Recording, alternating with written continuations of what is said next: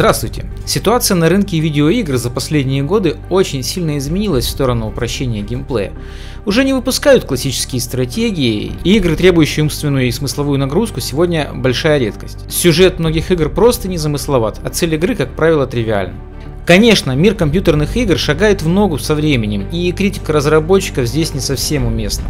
Но я, как и многие из тех, кто начинали играть на стареньких IBM, все же продолжаю мечтать найти ту самую игру, в которую хотелось бы погрузиться полностью, где геймплей будет захватывающим, как и сюжет и так далее. Вполне возможно, я это не отрицаю, что мое мнение поддержат далеко не все, но лично для меня за последние годы активного поиска приглянулся именно этот топ-5 игр, которые поиграть действительно стоит, и так начнем с пятого места. The Hunter Call of the Wild – Замечательная атмосферная игра от первого лица, которая воссоздает охоту на диких животных максимально реалистично, передавая дух охоты со всеми вытекающими. Игра включает в себя несколько карт, Соединенные Штаты, австралийский Аудубек и французские Альпы. Игра активно развивается и является лучшей в своем жанре, ну, на мой взгляд. Здесь вы можете играть как в соло, так и в мультиплеер. В игре предусмотрено множество факторов, таких как направление ветра, шум при ходьбе, что может спугнуть дичь. Особенным промыслом является ночная охота, а выслеживание уже раненого животного может оказаться не такой уж простой задачей. Игра получила 4,5 баллов из 5 от известного публикатора GamePro Media – The Hunter Call of the Wild вышла в релиз в марте 2015 года, но при этом графика просто фантастическая, за что и полюбилась многим любителям жанра. Subnautica – это приключенческая игра с элементами выживания от первого лица. В самом начале игрок оказывается на спасательной капсуле, спускающейся в воды некой планеты, на которой вам и предстоит выживать. Практически весь геймплей происходит под водой. Вам предстоит построить свою базу и разгадать тайну местных обитателей – некой инопланетной расы, которая когда-то жила на этой планете. Игровой подводный мир поглощает целиком и полностью богатство красок, биомов и живых морских существ чарует и заставляет исследовать подводный мир часами. В последних патчах разработчики добавили историческую линию, что еще больше притягивает к игре новых игроков. Игра запущена в ранний доступ аж в 2014 году и только 23 января 2018 года вышла в релиз. Кроме версии для ПК, в нее могут поиграть обладатели Xbox One. Subnautica это редкий случай, когда стимовская игрушка из раннего доступа доходит до релиза и становится настолько успешной. Заслуга в этом, естественно, разработчиков Unknown Worlds Entertainment. Будем надеяться, что после недавнего релиза Subnautica продолжит свое развитие и еще порадует нас чем-то новым и интересным. Player Unknown Battlegrounds. Я думаю, только ленивый стример не стримит данную игрушку. Да, ее популярность сегодня просто колоссальна, поэтому много рассказывать не буду. Пубк, как ее э, любя называют игроки, появился весной прошлого года. Игра является одним из модов Arma 2 Battle Royale, переработанных в отдельную игру разработчиком Брэндоном Грином. Игра была создана по мотивам известного фильма Battle Royale, что переводится с английского как «Королевская битва». Задача игроков выжить любой ценой, используя все подручные средства. Концепция игры проста. Вас и еще 99 человек выбрасывают на остров, на котором размещены различные объекты, поселения, города и порты, где вы можете найти огнестрельное и холодное оружие. На данном этапе разработки игры существует два основных режима игра от третьего лица и от первого. Также есть возможность играть в паре, втроем или вчетвером. Геймплей с одной стороны абсолютно незамысловат и прост, что притягивает игру огромное число игроков из Counter-Strike и Радуги Rainbow Six.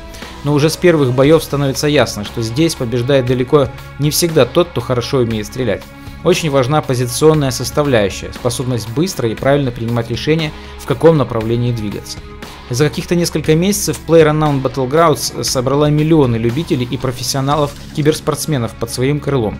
А сама компания, выступая на э, Gamescom, провела успешные переговоры и была приобретена компанией Microsoft. Сегодня на серверах PUBG одновременно играет более миллиона человек. Конечно, игра в соло несколько скучна, но вот играя в команде вы получите массу впечатлений и веселья, если, конечно, не будете воспринимать все события чересчур всерьез и беситься от каждого поражения.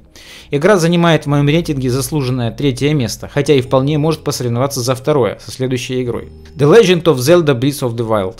Игра монстр, игра, в которой не хочется прекращать играть. Замечательный геймплей, ненавязчивый сюжет, революционные подходы к данному жанру и чарующая графика уже покорили миллионы людей. Игра еще до релиза получила множество призов, в том числе игра года по версии IGN's Best of E3, лучшая приключенческая игра, а уже после релиза получила признание от Game Awards, получив приз лучшая игра года. После релиза Breath of the Wild получила признание критиков, которые отметили проект как одну из величайших видеоигр, что когда-либо были выпущены. Серия игр The Legend of Zelda начала свой путь в далеком 1986 году и является практически моим ровесником. Основная проблема для многих желающих поиграть в Зельду заключается в том, что она вышла только на Nintendo, а на ПК ее можно запустить только через эмулятор. Да, и управление без джойстика просто невыносимо. Поэтому на первое место она претендовать никак не может. В игре есть огромное количество предметов, крафт, приготовление пищи, прохождение промежуточных квестов и головоломок. Все нюансы игры очень хорошо продуманы и встроены в геймплей так, что играющий не ощущает надоедания ни на одном из этапов ее прохождения. А мир настолько огромен, что вам не хватит и 100 часов, чтобы его исследовать. Практически все оружие в игре разрушаемо, что заставляет постоянно заниматься поиском новых предметов и не позволяет игроку расслабиться и нагибать все и вся через несколько часов игры. И наконец первое место в моем рейтинге это The Long Dark. Данная игра больше всего и ближе всего казалась мне по душе. Ее развитие нельзя назвать самым стремительным, но ее ламповость и необычность формата ничем не похожесть на другие игры, хотя похожих на нее в стиме можно найти. Но там везде присутствует обязательный зомби или какой-нибудь другой трэш, который ну совершенно меня не радует. Здесь же речь идет о самом настоящем симуляторе выживания. Жизнь в игре одна, и умирая зайти с сейва уже шанса не будет. Заболеть или получить увечья и умереть от них – это обычное дело в этой игре, особенно играя в режиме «непрошенный гость». Не так давно появилась и сюжетная линия, дополнившая и без того замечательную ламповость загадочной истории от разработчика.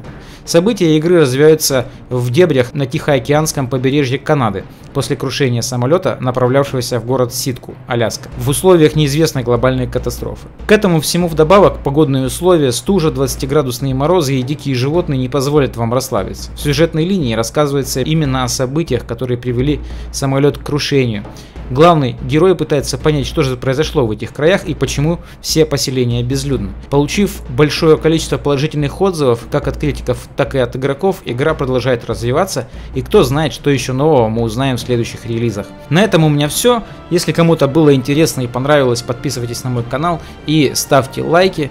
До новых встреч, пока-пока.